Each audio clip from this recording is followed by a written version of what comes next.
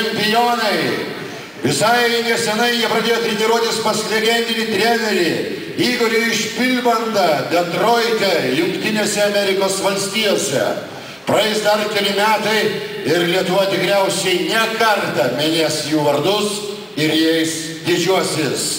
Katarina Koblei, Deividas Stanginiūnas.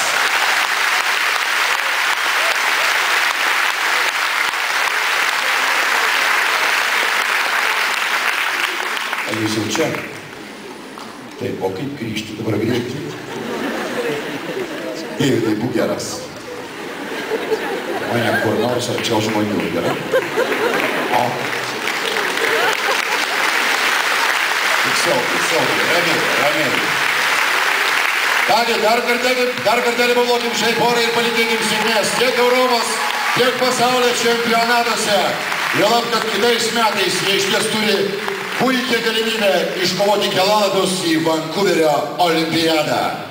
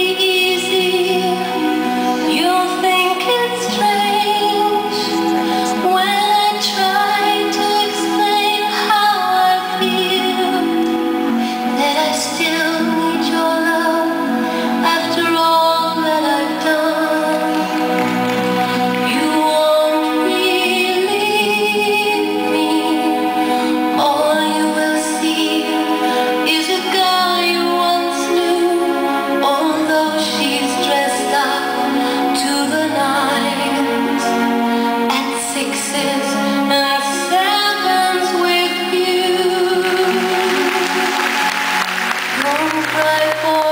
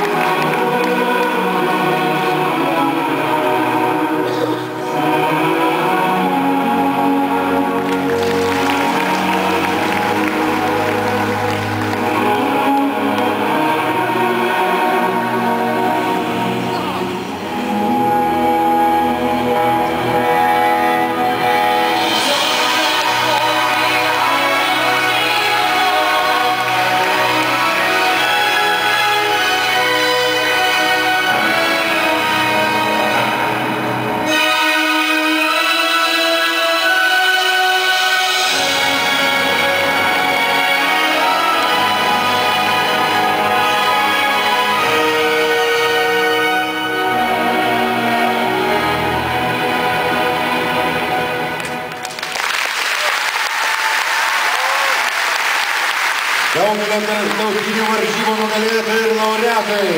Lietuvos dailio čiūžimo čempionai. Katarina Koblei, Deividas Stagniūnas.